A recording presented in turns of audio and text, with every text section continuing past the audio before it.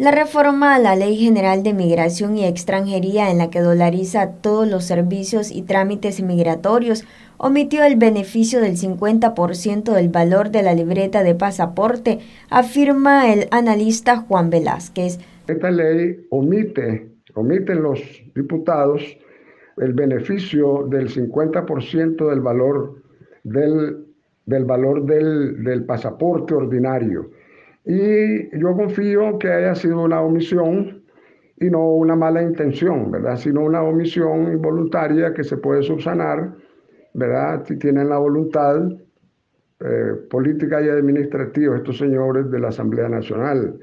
Yo casi estoy seguro que es una omisión, ¿verdad? En, en la ley del, del, del, del, gobierno antier o ayer no menciona en absoluto la exoneración ni tampoco la suspensión del beneficio. Así que yo pues hago un llamado a la Asamblea Nacional para que subsanen esta omisión. Beneficio que está consignado en la ley del adulto mayor.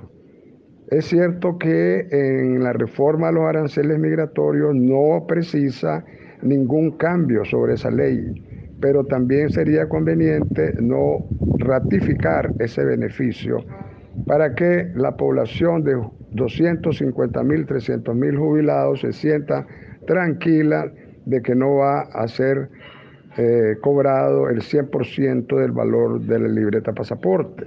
Porque como la ley del adulto mayor no ha sido modificada, la ley del adulto mayor persiste en su beneficio y especialmente en el valor del 50% sobre el valor del, de la libreta pasaporte. Noticias 12 Darlene Telles.